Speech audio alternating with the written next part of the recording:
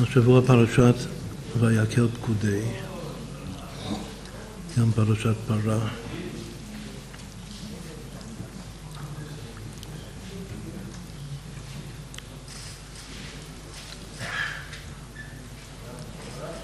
נתחיל מפירוש הזוהר על הפסוק בתחילת פרשת ויקל, קחו מאיתכם תרומה להשם.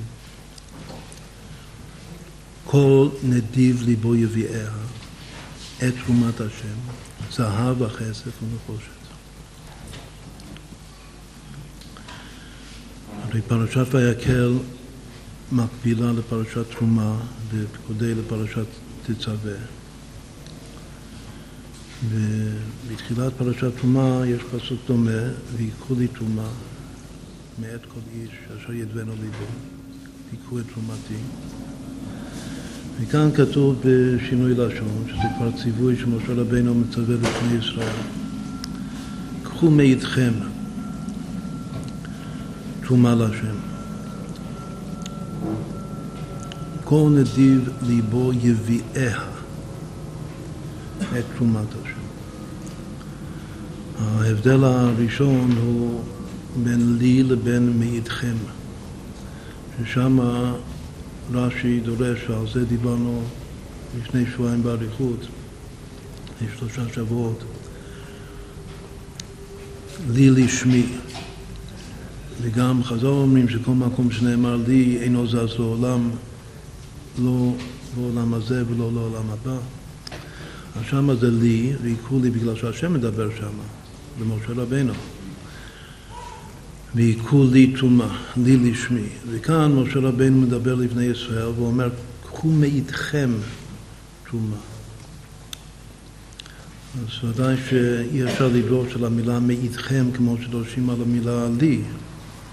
זה משהו אחר, אבל מה שכן אפשר לעשות, אפשר להתבונן מה, מה הגרמציה, נתחיל מגרמציה יפה. לי ארבעים. גם תרומה זה תורה מ', כמו שדיברנו, קשור למספר ארבעים. ארבעים ימים של מתן תורה, ארבעים שנים שהתלמיד עומד על דעת רבו. כמה שווה מאיתכם? מאיתכם זה מתחיל שלוש אותיות שבצירוף אחר אמת. אחר כך כ"מ, שתי אותיות נוספות. מאיתכם זה כמו עמיתכם, האמת שלכם. אז כמה זה שווה מאיתכם? שווה ראש. מה הקשר בין לי לבין ראש? בפרשת תרומה כתוב ויקחו לי, וכאן כתוב קחו מאיתכם שזה שווה ראש. אז אם כן, יש פה צירוף של ראש, כידוע שלי ראש אותיות ישראל. אז כדי שבשלמות הלי ראש, ישראל צריך גם את ה"ויקחו לי" של פרשת תרומה וצריך את המילה המקבילה כאן בפרשת ויקל, קחו מאיתכם, מהאמת שלכם. עכשיו, אכן הזוהר אומר שמאיתכם זה התערותא דלתתא. זאת אומרת, על פי פשט מאיתכם זה הזהב והכסף הנחוש שלכם, הוא מאיתכם. אבל הזוהר מדגיש שמאיתכם זה ראותא דליבה. שהרעותא דליבה של היהודי זה, זו האמת שלו, זה עמיתכם, נקודת האמת שלו בלב. והזוהר כותב ככה, שקודם כל יש רעותא דליבה, רעותא זה רצון.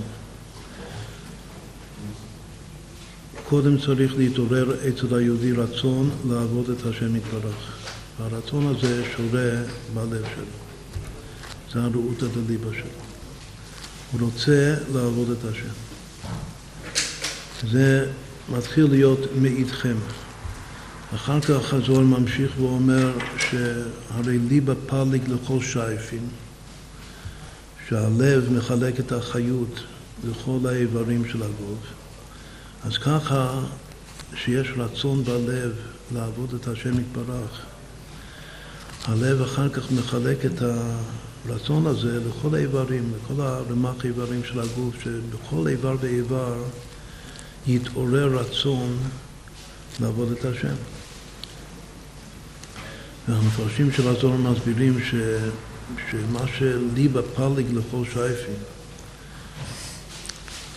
זה הרוח חיים. יש רוח חיים שנמצא בתוך הדם. כשאדם יוצא מהלב לכל האיברים, אז הוא מביא איתו את הרוח חיים. ומסבירים שעל הרוח חיים, על החיים שיש בדם, שורה הרצון. גם כן התבוננות אה, כלומר שיש דם,